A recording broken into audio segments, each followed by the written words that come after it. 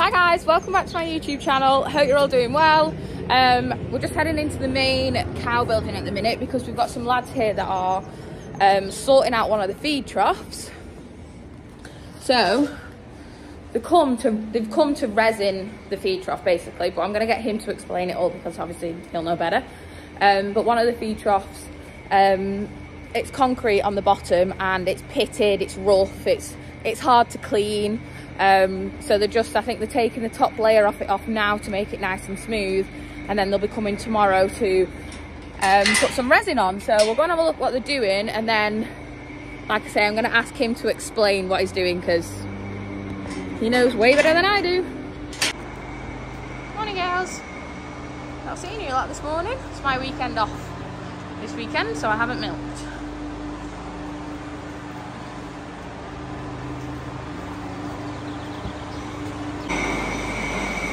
So, this is the feed trough. We'll look here. Let me get under.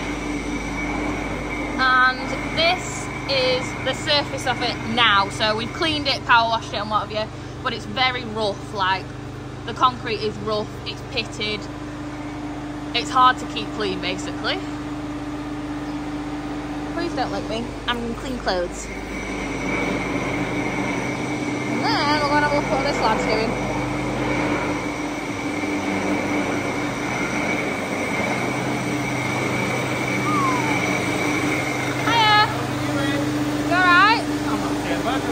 Good, thanks. Do you mind if I film you a bit? What are you doing? You're grinding this down. You're rounding it down, yeah? Grinding it, grinding the floor back.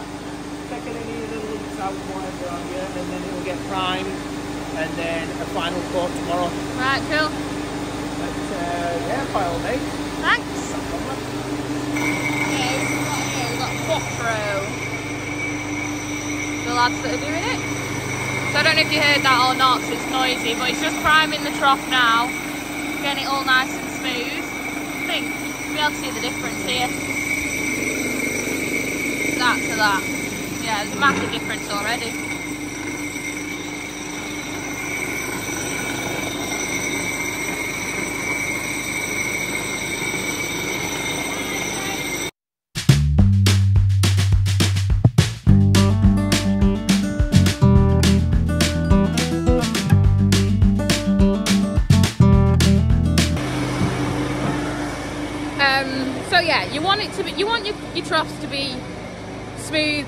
Clean anyway, that's just a given. It's like you eating off a dirty dinner plate, it's not ideal.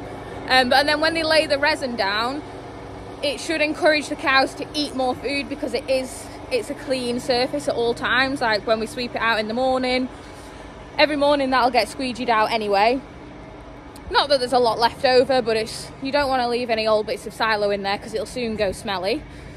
Um, so yeah, it should essentially encourage your cow to eat more silo when it's eating off a clean surface. So that's what we're doing there. Get them to eat more, then they'll give more milk. So fast forward to okay, snow. Um, Monday morning. So they started doing the trough on the Saturday, and this is the first time I've seen it. Obviously, he's got to let it dry, so we've not let any cows in um, yesterday on the Sunday, but Richard's just about to come feed and hell. Looks fancy pants. Ooh, that is really smooth. That'd be so easy to clean. That looks so good. I can't believe how good that looks. I don't know what I was expecting but I wasn't expecting it to look that good.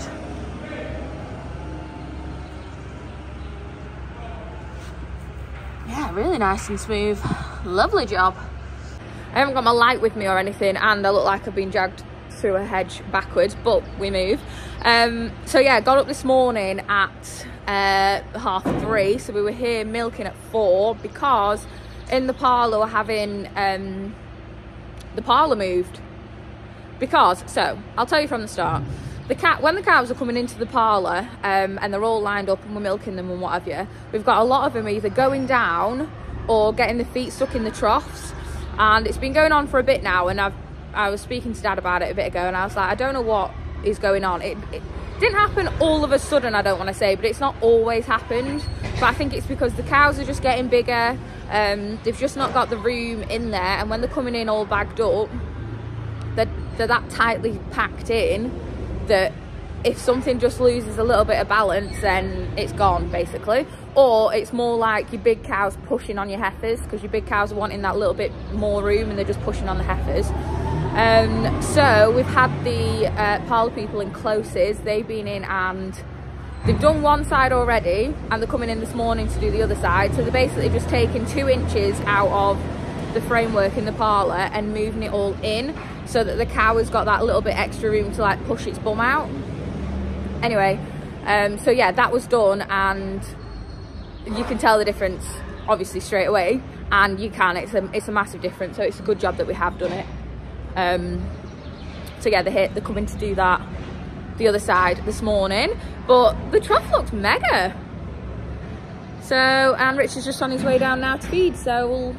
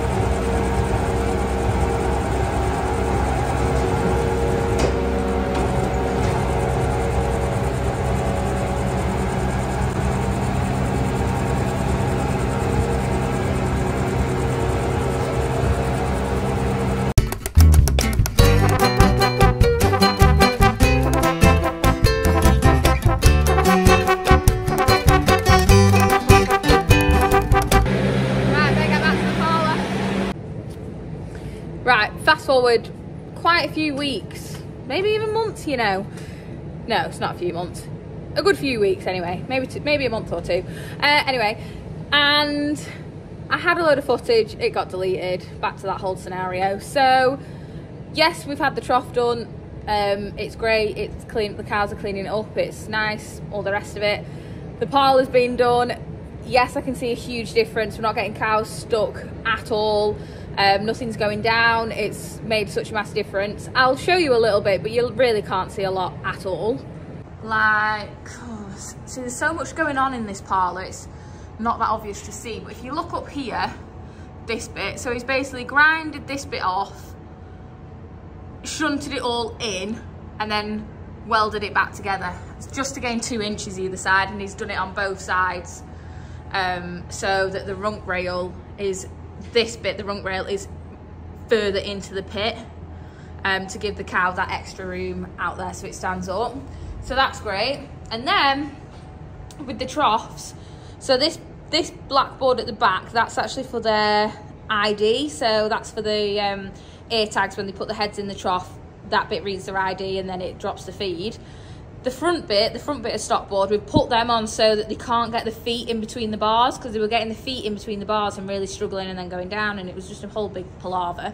So we moved the rump rails in and then we put the stock board on as an extra precaution as well. So yeah, it's all working really well. Not having many cows, well, not had any cows go down touch wood.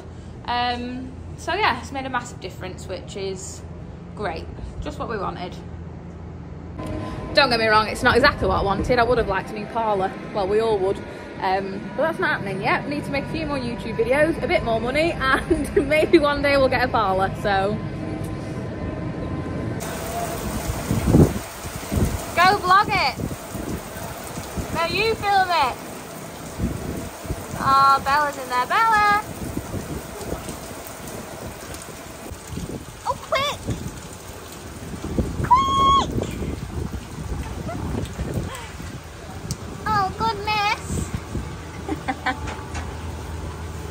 Soggy.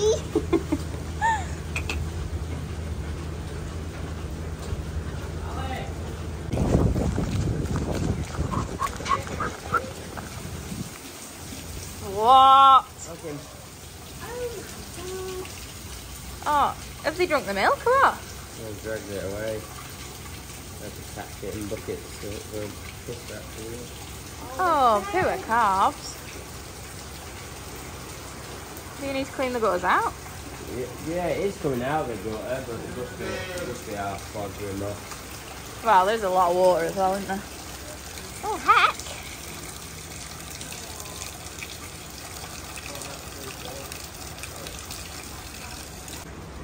And it's June. What a joke. Flipping serious.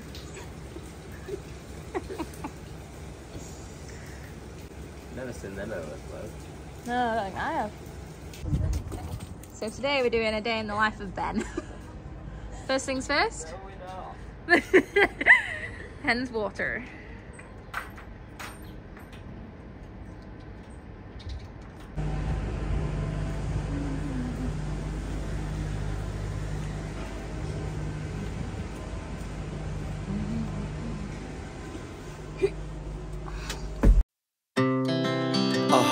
Beat to the city streets. We began to feel the fire. We rise like tall buildings as the chemicals they take us higher. The night's young and it's just begun as she puts her hand in mine.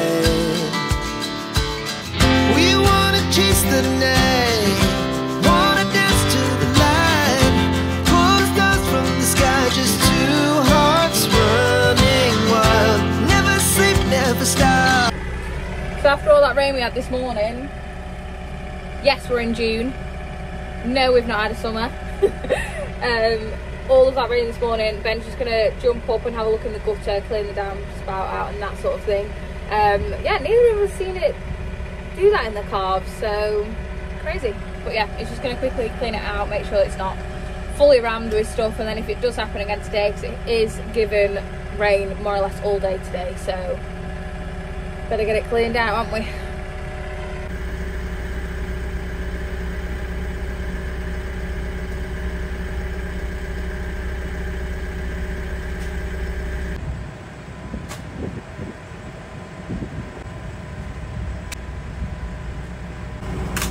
Lots of stuff coming out.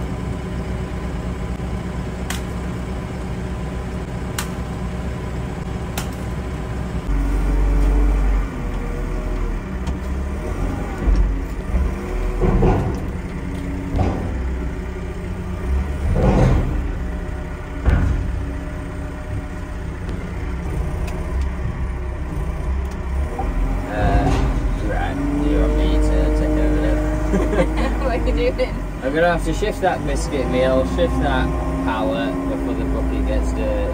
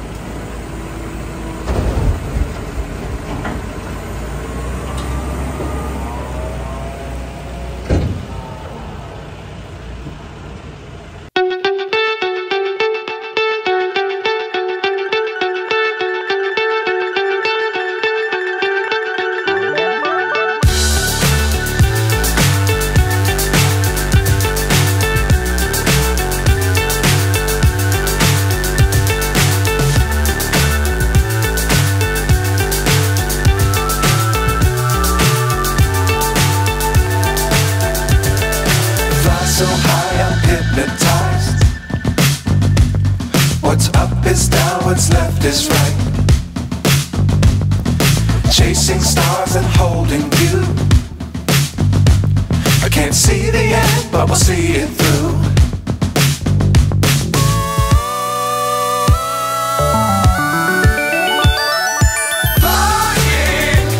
what we're doing is um he was moving some blend in no he wasn't he was moving some biscuit meal into the straight shed it's full can't fit any more in there so he's just shoved it up against some crushed uh, barley for now.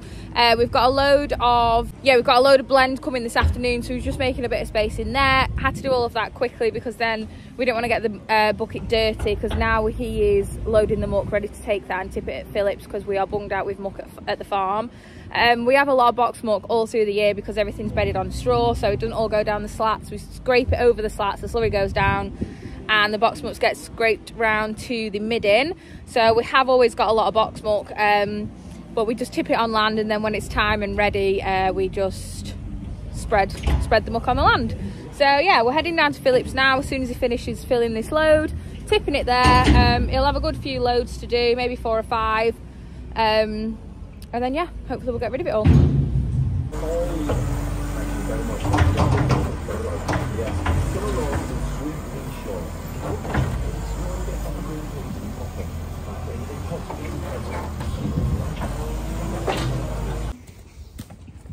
I think I'm a Radio 2 guy, you know, you know. oh really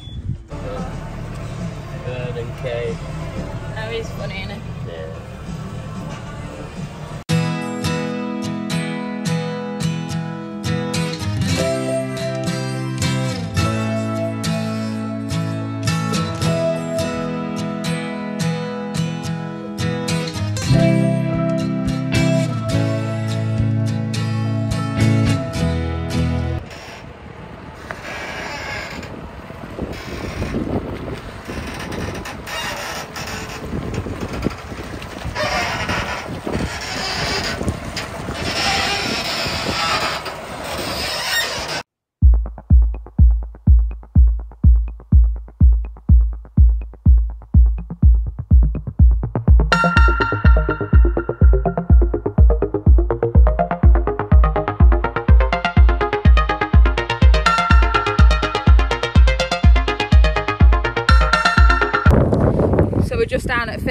um, where we're tipping the muck and we've got a bit of barley here so we just thought we'd come and have a look see what the crack is.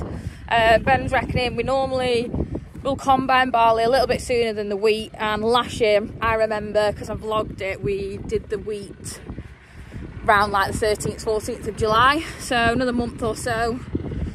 Well if we're going a week before yes three weeks hopefully doing a bit of combining all obviously weather dependent so hopefully we get some decent weather because I'm not even kidding you. This is Fortnight before. yeah. Yeah. So we well, it all depends on the weather again, though, doesn't it? Yeah. To out now Coming a bit yellow, innit? bit. Yeah. Oh, let's have a look at some. Ooh, so cheesy. I didn't get the. Do you want these to be a little bit cheesy or just hard? Uh, no, they want to be cheesy, but not uh, no water or moisture in them Right. for crimping. Yeah. Yeah, yeah, So you crimp all the barley, yeah. We did last year. right? Crimped all the barley and And the wheat. most of the wheat, and just did a bit of wheat full term, just when the plant got full. But we've got we've got 20 acre less this year, so I think it'll all go It'll into crimp. Yeah. Hmm. Pretty good, doesn't it?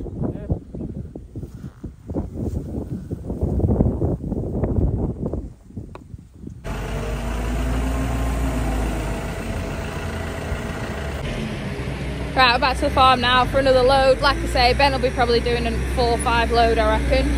Um, I haven't. Oh, oh, there's a cow coming out. One sec. close one. Jacob and Alex are on uh, foot patrol. What are you doing? She didn't. Saw you legging it with a broom. what was I saying? Yeah, so Ben's doing that. Um, I haven't got time to stand there and vlog him the whole time, so hopefully I've got enough content of that. I'm gonna go and do a bit of like painting and stuff, um, just staining wood um, up in my stables. What else have I got to do? I've got a few things I need to do on the computer and edit and upload this vlog because this will be going live tonight. Um, so yeah. Anyway, it wasn't a full day in the life of Ben. Maybe I will do that one day. I think that would actually be quite good. Oh, sorry, Wags. You want to say hi? Oh, I'm rough.